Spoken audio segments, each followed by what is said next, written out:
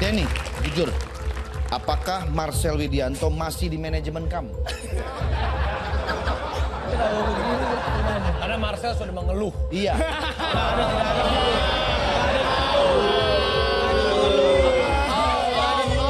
Banyak potongan. Makanya Marcel banyak ambil off air tanpa sepengetahuan Denny Chandra. Ya. Sehingga dia mengambil utuh honornya tanpa diserahkan kepada manajemen. Betul. Ini adalah orang yang kacang lupa sama pedagangnya ini. Kalau informasi terakhir sih eh, dari adik saya, Iya pak.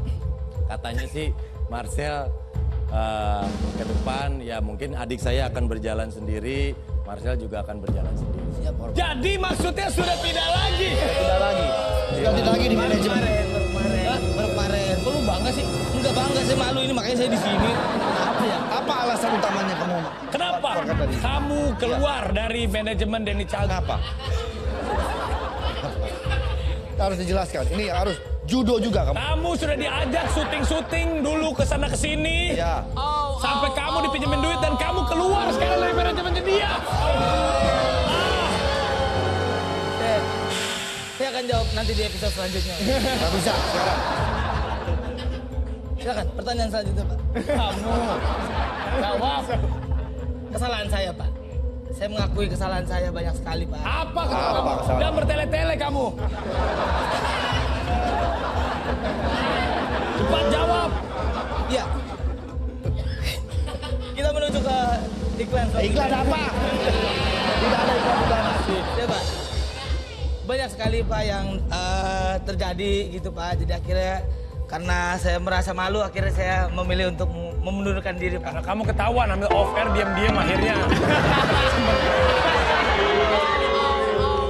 Over. Susah sekali.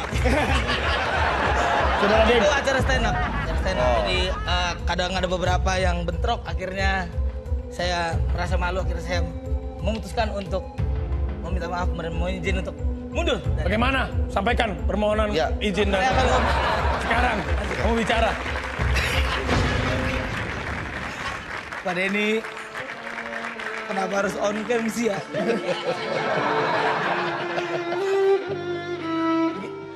Aduh, musiknya gini.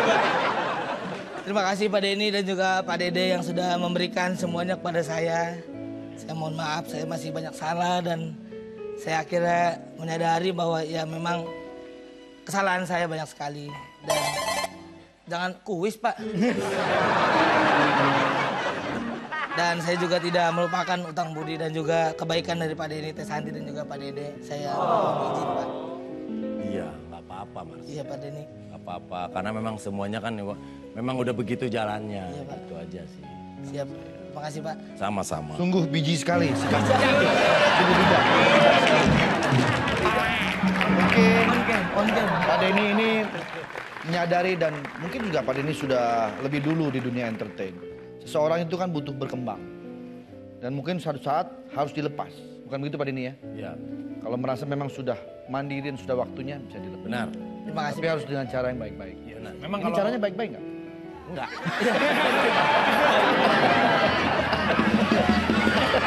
Baik. Baik. Saya, iya, Pak. Terima kasih Pak Dede. Sama-sama Marcel. Dan juga Pak Dede sudah membuat saya menjadi sukses. sekarang mau masuk manajemen siapa? Belum ada Pak. Belum ada berarti ada tawaran. Belum. Belum berarti mau masuk manajemen orang. Belum tahu Pak. Saya belum tahu akan tetap di TV apa enggak juga. Baiklah. Ada yang datang, ada yang pergi. Ada yang masuk, ada yang keluar. Memang begitulah yang namanya hidup. Betul. Terkadang semuanya harus ikhlas. Tidak ada yang abadi di dunia ini. Biar bagaimanapun silaturahmi harus tetap terus terjaga. Iya. Tidak akan saya melupakan. Karena kalau dada saya dibelah, Pak. Di sini ada Marcel Widianto. Di sini ada Raffi Ahmad. Pak Andre ada di lambung sih. Masih dapat. Saya ada nggak? Kamu ada Di mana pak? utus buntu. Baiklah kalau begitu, alangkah indahnya kalau kalian berpelukan. Terima kasih Pak Dede. Sama-sama. Mendingan Marcel duduk di sini aja dulu. Marcel Widianto.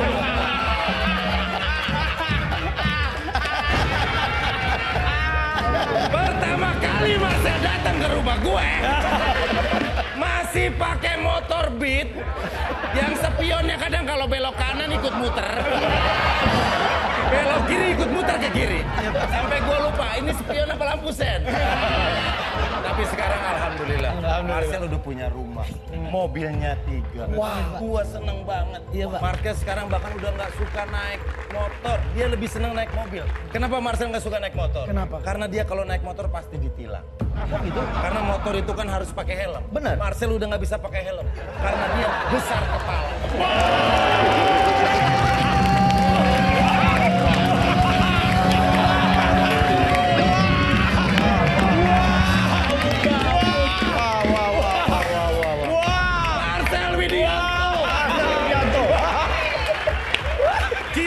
bertahan di entertain itu harus memanfaatkan apa yang ada di tubuh. Betul sekali.